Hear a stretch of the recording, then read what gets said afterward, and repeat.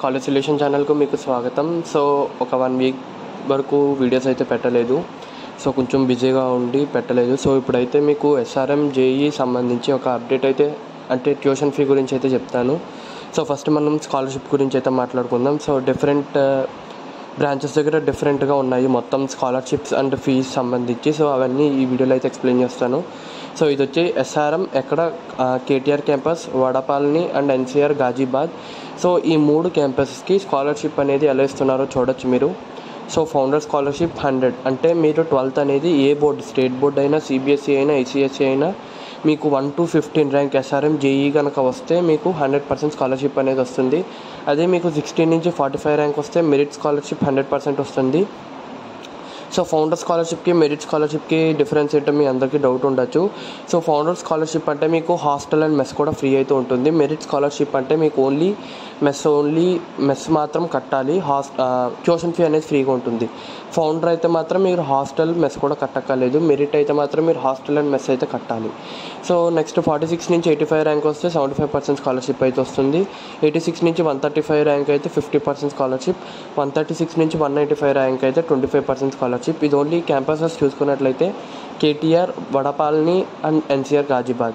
అదే మనం రామాపురం. సో రామాపురం చూసుకున్నట్లయితే మనకి డిఫరెంట్గా ఉంటుంది.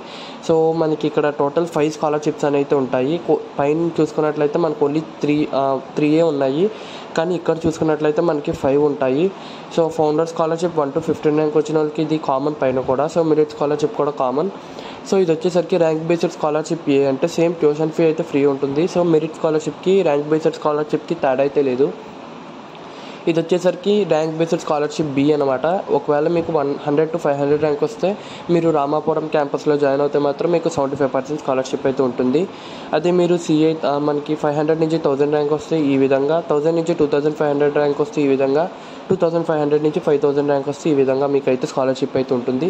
సో నెక్స్ట్ ఏంటంటే Trichy campus so Trichy campus మీరు చూడొచ్చు. సేమ్ మనకి కొంచెం స్కాలర్షిప్ అనేది పెంచుతారు తప్ప మనకి రామాపురంకి తిరుచికి డిఫరెన్స్ అయితే ఉండదు.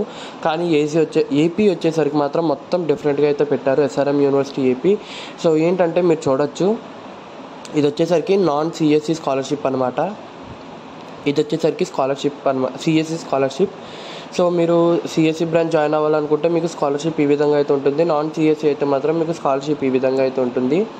సో సిఎస్సికి ఏంటి డిఫరెన్స్ అంటే మాత్రం మీరు ఫౌండర్స్ స్కాలర్షిప్ అయితే మీకు జీరో ఫీ అయితే ఉంటుంది. వన్ టు ఫిఫ్టీన్ ర్యాంక్ వస్తే sixteen to forty five rank వస్తే మెరిట్ స్కాలర్షిప్ అయితే ఉంటుంది. మీకు ఆల్రెడీ చెప్పాను ట్యూషన్ ఫీ అనమాట ఫోన్ అయితే హాస్టల్ అది కూడా ఫ్రీ ఉంటుంది. అదే మీకు ఫార్టీ సిక్స్ నుంచి ఫోర్ ఫిఫ్టీ ర్యాంక్ వస్తే మీకు నైంటీ ఫైవ్ థౌజండ్ ఫీ అయితే ఉంటుంది. అది కూడా ఆల్ బోర్డ్స్ అయితే కాదు ఓన్లీ సిబిఎస్ఈ ఐసిఎస్సి అంటే మీరు స్టేట్ బోర్డ్ అయితే మాత్రం మీకు కుదరదు. ఓన్లీ సిబిఎస్ఈ ఐసిఎస్సి చదువుకున్న వాళ్ళు ఫార్టీ సిక్స్ నుంచి ఫోర్ ఫిఫ్టీ ర్యాంక్ వస్తే మీకు నైంటీ ఫైవ్ థౌసండ్ ఫ్రీ అయితే వస్తుంది. అది కూడా ఎస్ఆర్ఎం ఈపీలో జాయిన్ అవుతేనే సిఎస్సి బ్రాంచ్ కింద. కేటగిరీ బి అంటే మాత్రం ఇది కూడా ఓన్లీ సిబిఎస్సి ఐసిఎస్సి వాళ్ళకి మాత్రమే. ఫోర్ ఫిఫ్టీ నుంచి ఫిఫ్టీన్ హండ్రెడ్ లోపు ర్యాంక్ వస్తే మాత్రం మీకు లక్ష ఎనభై ఐదు వేలు ఫీజు అయితే పడుతుంది. కేటగిరీ సి అయితే ఈ విధంగా ఉంది. నెక్స్ట్ ఇది వచ్చేసరికి నాన్ సిఎస్సి అనమాట సో అంటే మనకి మెకానికల్ ఈసీఈ వాళ్ళు జాయిన్ అవుతే వాళ్ళకి కేటగిరీ ఏ వచ్చేసరికి థర్టీ థౌజండ్ అయితే ఉంటుంది. సో మనకి కేటగిరీ సి చూసుకున్నట్లయితే ఇక్కడ ఆల్ బోర్డ్స్ అని పెట్టారు. కానీ ఇక్కడ category C all boards and category D కూడా ఉంది. కానీ ఇక్కడ కేటగిరీ డి అయితే లేదు.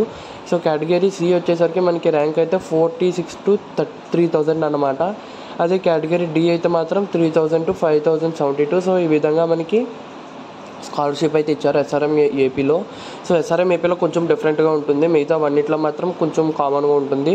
సో మీరు చూడొచ్చు కేటగిరీ ఏ కేటగిరీ బి అంటే ninety five thousand fee one lakh eighty five thousand fee మాత్రం ఓన్లీ సిబిఎస్ఈ అండ్ ఐసీఎస్ఈ వాళ్ళకే మిగతా వాళ్ళకైతే ఉండదు.